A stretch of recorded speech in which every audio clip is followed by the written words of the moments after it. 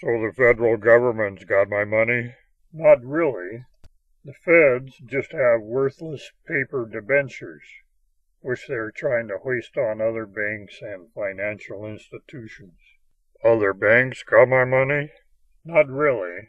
So many of those loans are defaulting that the Treasury Department may have to use public funds to bail them out. So the Treasury Department has my money? Not really. Oh, The government's broke, broke? in debt. You've heard of the national debt. Y- yes. Well, they can't pay off the loans right away. They have to borrow from other countries. But all the other countries are going through credit crises too. They're closing down their banks.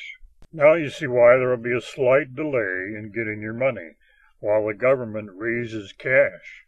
How are they going to raise the cash? Simple. By raising taxes. I can't pay higher taxes. I got no money. Another reason for the slight delay. I just want my money. Who's got my money? Everybody. Everybody. The citizens of the United States have the money. As soon as they pay it in higher taxes, you can get your money back. My fellow citizens have my money? They agreed to pay the federal government whatever it needed to pay its debts, you included.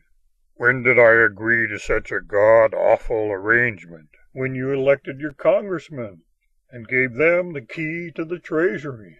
I didn't vote. Then you passed that right along to others by default. It's not fair. I didn't give them an open pocketbook. I just want my money back. How much is your deposit? Four hundred and sixty-two dollars and seventy-six cents. Well, as soon as you pay an extra four hundred and sixty-two dollars and seventy-six cents in your taxes, you can get your deposit back. You mean I have to pay my own money? I owe myself? Exactly. It's what you signed up for. Something's not right. It's not fair. You elected officials in Washington and gave them the purse strings, folks.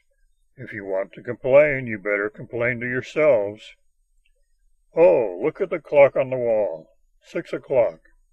Closing time, folks. Everyone file out quietly.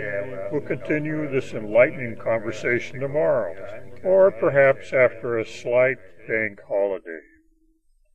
Mrs. Ortsman, give me a couple of bucks.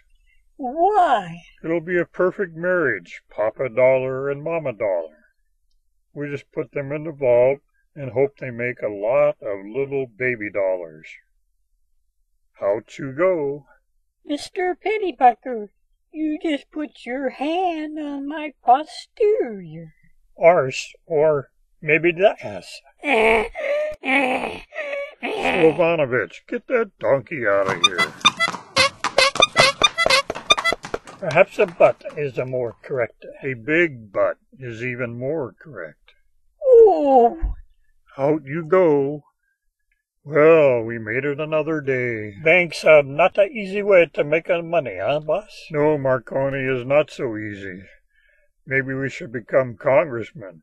They're the ones who control all the money. All they got to do is raise their hands in a vote, and there goes the money. Billions. Here or there, wherever they want.